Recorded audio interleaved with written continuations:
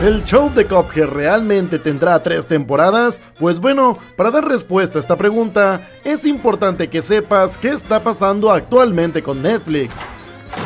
¿Me perdí algo interesante? Netflix desde hace 10 años no ha perdido suscriptores. En estos últimos 10 años siempre ha ido en crecimiento, pero se ha reportado que en este primer trimestre ha perdido 200 mil suscriptores, por lo que se espera que esta pérdida crezca aún más con el pasar de los meses. Todo esto no ha afectado en sus ganancias. Se dice que ha generado los mismos ingresos que el año pasado, pero lamentablemente esta pérdida de suscriptores no ha gustado para nada a los accionistas y ha causado que Netflix pierda en sus acciones el 35%, es decir, que Netflix prácticamente ya vale una tercera parte menos de lo que valía anteriormente, a lo que se resume que Netflix estaría valiendo 50 mil millones de dólares menos a lo que valía el año pasado.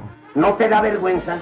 Para tratar de contrarrestar esto, se dice que Netflix buscaría que se evitara el compartir cuentas. Es decir, si Netflix detecta que en otro hogar se está usando la cuenta compartida, Netflix aplicará un cargo extra a estos usuarios. ¿Qué? Todo esto es un poco complejo, ya que hay personas que no necesariamente comparten su cuenta para ver Netflix en otros hogares o lugares. Para dar solución a todo esto, se dice que Netflix sacaría un plan en el que te cobre menos, pero metería anuncios en su aplicación. Pero hasta el momento no se ha dicho cómo se implementaría esto. Pero bueno, nosotros venimos a saber de Cophead y no tanto de Netflix, pero era importante y necesario que supieran esto. Desde un inicio Netflix había autorizado 36 episodios para el show de Cuphead, los cuales tenían que ser divididos en tres actos, es decir, no lanzar los 36 episodios de una, sino que tendrían que lanzar, por ejemplo, dos en febrero, dos en junio y quizá dos en noviembre,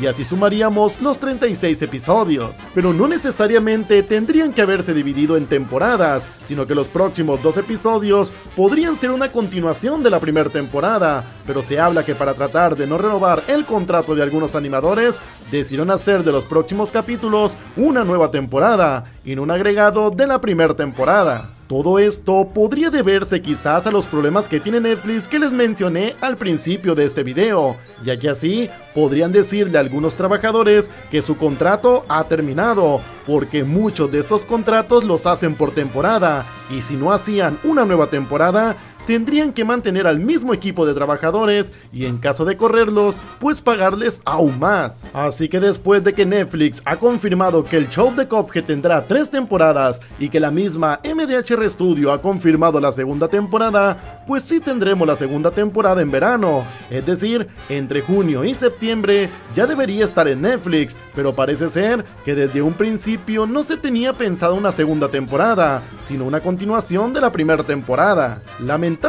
Para todos estos artistas, parece ser que todos estos cambios se debe a que Netflix está haciendo algunos recortes para reponerse de este duro golpe que está teniendo sus acciones. Aunque bueno, esto no es una justificación. He tenido el peor día de mi vida, weón.